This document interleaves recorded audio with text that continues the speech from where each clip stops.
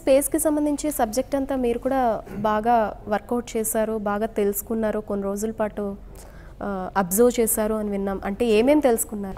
అంటే ఇప్పుడు ఆ బ్యాక్ స్టోరీ అనేది సంకల్పే చెప్పాడు నాకు. నేను సెపరేట్గా I didn't look up internet something so చిన్నప్పటి నుంచి ఎక్కడ స్పేస్ గురించి మరీ అన్రిలేటెడ్ టాపిక్ కాదు. అది నాకు స్కూల్లో సెవెంత్ క్లాస్ టెక్స్ట్ బుక్ నుంచి టెన్త్ వరకు ఉంది.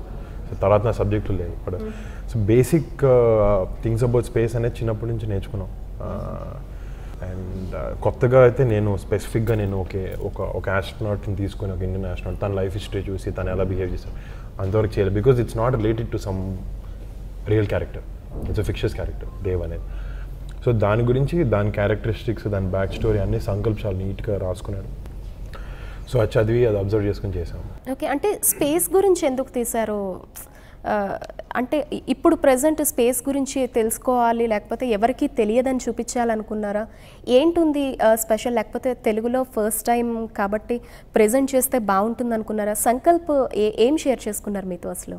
నిజంగా నేను ఒక డైరెక్టర్ విజన్ నమ్ముతాయని క్వశ్చన్ వేయలేదు నేను అసలు ఈ విషయాన్ని మీద. తను ఎప్పుడు అంటే ఎందుకు నువ్వు ఈ సినిమా తీయాలనుకుంటున్నావు అనే question I really and as తను ఒక నేషనల్ అవార్డు కొట్టాడు ఫస్ట్ సినిమాతో దాని తర్వాత అలాంటి క్వశ్చన్ అలాంటి అడగకూడదు. ఎందుకు తీయాలనుకుంటున్నా ఇలాంటి సినిమా అని. He has a vision and we just surrendered to that and నా వరకు వచ్చినప్పటికీ I really thought this be new for Telugu audience and it'll be a different experience for them overall నేనైతే అదే అనుకున్నాను but I didn't really question ఎందుకు చేయాలనుకుంటున్నాను cinema అయితే చెప్పలేదు.